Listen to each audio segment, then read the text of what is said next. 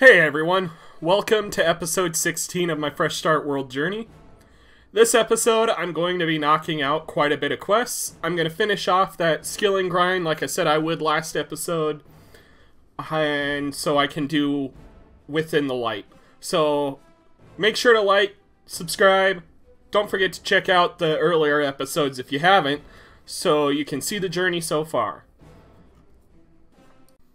Alright guys, so I missed a couple of levels because I was busy doing some uh, bossing on the main while I was AFKing these uh, trees, so I did get to 47, which is the level needed for Acadia trees, and then I immediately started chopping those, and I'm at 52. I think I'm just going to keep doing these till 75. I have porters, so that should get me going for a while. Once I hit level 2 in loyalty to this house, I'll be able to start using the deposit box. So that should also be a little bit nicer. But just thought I'd give you an update. Okay, so I've been doing lots of wood cutting, just giving an update, and I'm now at 56 wood cutting. Still off the same inventory of porters, so these trees are definitely fast XP. Not sure how. I still think I'm going to stay here till 75. I'm not sure if it's worth switching to the vines at 68, but uh, yeah, I'll be back with the next level. That's a decent upgrade. Hey everyone, I didn't want to leave everyone wondering where I get a bunch of loot in my next clips that I'm going to be using. So with the rainbow event, I was able to get a crap ton of oddments, which I have used to buy keys. Um, as you can see, I only have one left I can get today. And this is the clairvoyant one where I can see what I'm going to pick. So this really allows me to just kind of grab whatever I want to that I think will be best for my account. I'm definitely going to just keep going with Silverhawk feathers and such. But anyways, just wanted you guys to see that because I'll likely be using some of this stuff in future clips and I don't want you to wonder where it came from. Okay, I also turned in the paper from those keys and was able to get uh, enough lamps to get to 45 summoning. I've been using my lamps on summoning. I think I'm going to switch to herblore, or sorry, to prayer, because that's pretty expensive to train here. So, okay, just thought I'd share that, and I will be back with uh, 75 woodcutting, hopefully. So, while woodcutting the trees, these scarabs spawned, which, if you haven't played before, when you stomp on them, you get Slayer XP. So it's free Slayer XP without having to do combat, which is great. So I can just stomp these here. And from here, you can right-click on the tomb From here, you can right-click on the tomb, enter and exit. Oh. From here, if you enter and exit the tomb, you'll spawn him again.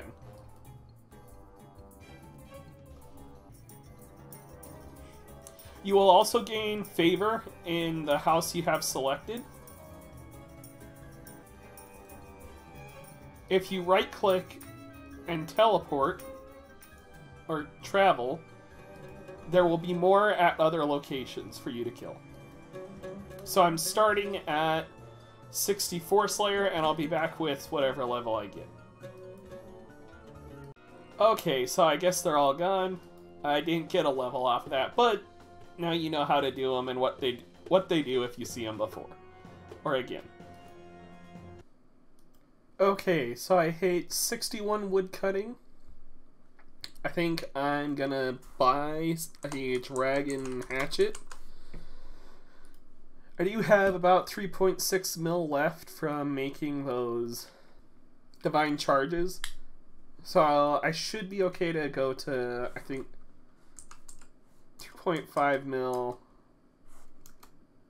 It's going to be a good good place to start for this.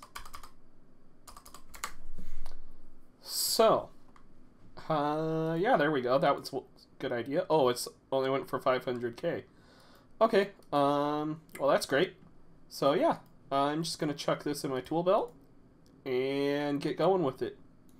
So I will be back hopefully when I get... Ooh. Actually, I'm not going to add it to my tool belt. I'm going to wield it because I... Oh, I can't wield it. Okay. I guess I'll have to do this uh, old-fashioned way and just hold it in my inventory. Um, I do... I don't want to add it to my tool belt because I want to make it into a crystal one once I eventually unlock Prif. Even if I don't do it while it's fresh starts, but I hope to here soon. Alright, so I did take a break to check my Anachronia camp, and I can upgrade the sleeping quarters, which gives me more workers. So I'm to go back and do uh, the town hall and upgrade that so I can upgrade the other buildings. Because prioritizing these two makes everything else easier. So if I reset, I just need wood, uh, vines, and rocks. Okay. I'll check back in the next few days and we'll see where I'm at. Hopefully I get enough. Hey guys, so while I was woodcutting, I'm only at 63 right now. I notice I got a level up and I have 1400 points, which means I get the next unlock with my Fresh Start Worlds points. So I'm going to hop over there and see what I can get. Okay, so I'm going to go to the shop, open the shop, and yep, Boon of the Artisan. So doubles the max actions of any cooking blah blah blah methods. So this will allow me to produce faster, I believe. Or I cook two at once. I'm not entirely sure. But yeah, so I'll go ahead and activate that. And then from here, get back to woodcutting. So I ran out of porters and I don't want to take the time to go get more, so I'll show you guys the method I am using right now. Actually, while I home teleport, I also do have 500 feathers in my Silver Hawk boots. So as I get XP, I will also get XP in agility. Okay, so to do this, you need level or tier 2 in the Imperial District. I would highly recommend being able to wield whatever hatchet you have or have it in your um, tool belt, unless you're like me and can't. But you'll woodcut the tree here and use this deposit box here to deposit the logs. If you don't have the axe and hatchet in your inventory, you can just right click and select deposit all which is why I kind of recommend get, having that for this. But anyways, I'm going to get back to chopping trees and hopefully continue to get towards 75 wood cutting. Okay, just wanted to share I did get 70 wood cutting. So there is that. I can now collect sentinel fragments. That is the outfit. And I have 20 invention. So I can get the outfit once I get the chance for it. I think at 71, yeah, I unlocked the Crystal Hatchet, which it's interesting because I'm pretty sure you can't get the Crystal Hatchet until you unlock Prifddinas, which is the Elf City, which you need 75 wood cutting to get. So, it's just interesting. Anyways, I will be back with 75. Alright, so I was doing a farming run because I realized eventually I will need 75 farming. Anyways, anyways, I ended up getting 63 farming. And so yeah, just thought I'd share that. I'm gonna keep doing woodcutting and farming. Hopefully get some levels.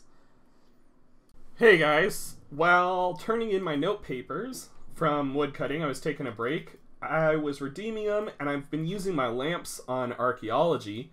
Well, I got to 51 archaeology. So I actually haven't even trained this skill. I'm already 51 just from doing uh, all the questing I've done and participating in the events going on. So I'm going to use more lamps on it. Don't think I'm going to get a level here, but yeah, I just wanted to share that with you guys. I'm at 72 wood cutting, so I'm getting really close to the end. Alright guys, so this is going to be 75 wood cutting. One more log. There we go. The grind is over. So, let me get to the bank and I'll show you all the logs I cut in this journey. So, there's about 5,000 Acadia logs and 220 willow logs. So I am going to try and fire make all of these. I think I can... Do I have the level or will I... Yeah, I can just straight go into the Acadia logs. So I would start that, but I need to get 75 attack first. So I got dummies while doing spins, so I'm going to use those with my crystal bow and try and get 75 attack. Or 75 ranged, I mean. So that'll be the next one I need, and then I can do within the light. So, okay. I will be back when that is done. All right, there is 75 ranged. So, that should be... Yep. I now have all the requirements I need for Within the Light. I am going to go do that quest. I will be back when it is done. Okay, this should be the end of Within the Light. There it is. Awesome. So that's 35k agility, 20k fletching, 20k range, 20k wood cutting. So lots of XP and 50 fresh start points, two more quest points, up to 37, 137. So the final quest to unlock the Elf City is going to be Plague's End, but I don't have near the levels and quite a few skills for that yet. So rather than do a bunch of skilling right now, I am going to go ahead and switch back to pursuing curses. So I'm going to go ahead and work on the quest line for that. Up oh, there is 75 agility, which is actually one of the requirements for Plague's End. But yeah, I'm going to switch back to getting the quest for Temple for on Okay, so Plague's End is the quest to unlock the Elf City. As you can see, I need 75 and a lot of skills, which I'm pretty far off on. However, the next quest, the next quest, or the quest line that unlocks curses is going to be for the temple at Senntisten, which I just need to do the Curse of Arrav and Devious Minds. I've still got quite a few quests to do for Curse of Arrav. So I'm going to work on these quests. I'm thinking either Missing My Mummy or Shades of Mort'ton is going to be next. So I will be right back. Okay, so I realized I need 45 prayer for this quest. So I bought some dragon bones and I'm just out here in the wilderness. Uh, this altar functions just like your altar in your player-owned house. However, um, you don't need to worry about burners. And because the wilderness is safe now, there's a bank right there. It's pretty much the best way to train prayer early on. So that's 45 prayer, and I should be good to go. Okay, just finished missing my mummy. I seem to have missed it, so you can see here in the chat box. Uh, missing my mummy. I am now going to be doing Troll Romance, so that's going to be the next quest I do. I'll try not to miss the recording this time. Okay, this should be the end of Troll Romance. There I go. Okay, 140 quest points. So 10 away from the needed to get the next uh, Halo piece. So I will get back to questing and be back with the next one. And there I have finished Shades of Mort'ton. So I think my next quest is going to be uh, Defender Varrock. So I will be back when that one is done. Alright, I actually think I'm going to take a break from questing for a bit. I have 903 Protean planks just from daily spins and converting my other Protean items. And I think I'm going to try and get towards 75 construction. This is going to be one of my more expensive ones to get for Plague's End, so I think I'm going to try and knock as much of it out of the way now as I can. So I'm going to use Portable Skillers in Burthorpe, and I will be back when I have finished using these items. Okay, finished off. Those planks definitely didn't have enough for 75, but got a decent way towards uh, 64. So, got a decent ways of the way to there, though. So, that's nice. I don't know what I'm going to do next. But I will be back with whatever I end up doing. Okay, so while I have been doing all these skills and everything and doing my daily keys, I've been using some stuff on invention, so I have all these unlocks I can get. So I'm gonna finish all of these. I'm starting at 21 invention. We'll see what level I finish at. Okay, so I finished discovering everything I can at my workbench. I got to 23 invention. Uh, the big things that I unlocked are going to be some skilling outfits. So I can make five pieces of the divination one. So while you're skilling, once you hit level 70 in the skill, you start getting outfit pieces. So I can do uh, eight pieces for the camouflage one, and or for the thieving one, and five pieces for the divination one. Uh, the other big things that I unlocked is I can now augment tools, and if I go to skilling support, I can make the Hammertron, Pyromatic, and Fishing Rodomatic. These allow me to train these uh, fishing, fire making, or smithing, and get XP in invention while training those skills. Mm-hmm. I do need to get a few pieces for these before I can unlock them, or components, I mean. So I will have to do that as they come along. Probably the best one for me to knock out right away is going to be the fishing one. I can get this from bows, the flexible components, and then dexterous components as well. So at some point I am going to have to fletch my own bows, but I think I'm going to finish getting those last 50 quest points. I'm at 143. I can probably do two quests and be done. So I'm going to try and knock out two different quests. I'll be back with the first one, and however many quest points I get.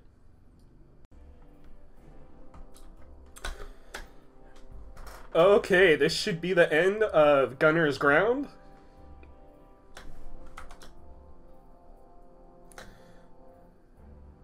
It finishes. There we go. Five quest points, 300 crafting. Definitely do this early, but because it's five quest points, I just need one more. That gives two quest points, and I'll be at the needed 50. So, yeah, 125 fresh start world task points as well. So, alright, I will be back with the next quest. Alright, this should be the end of Defender of Varrock. Awesome. There we go.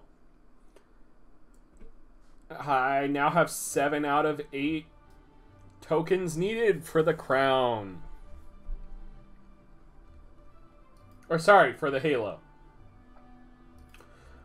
I'm to claim these XP lamps. There we go.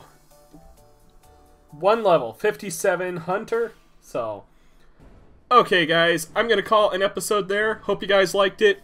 Make sure to like it if you haven't, and don't forget to subscribe. I'll catch you guys in the next one.